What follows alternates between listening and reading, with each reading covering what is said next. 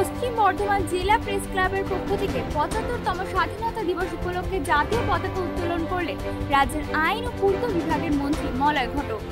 এদিন আসানসোলের রবীন্দ্র ভবন প্রাঙ্গণে জাতীয় পতাকা উত্তোলন করে মন্ত্রী মলয় ঘটক বলেন, জেলার প্রেস ক্লাবের পক্ষ থেকে স্বাধীনতা দিবস উদযাপনের এই অনুষ্ঠানে থাকতে পেরে নিজেকে গর্বিত মনে করছি।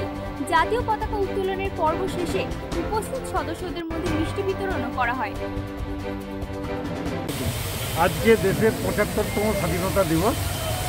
আসানসোল প্রেস ক্লাবের তরফ থেকে পতাকা উত্তোলনের মাধ্যমে এই দিনটিকে পালন করা হচ্ছে।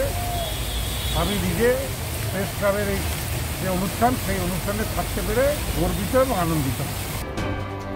আসানসোল থেকে সৌমিত্র গাঙ্গুলির রিপোর্ট টাইমস বাংলা।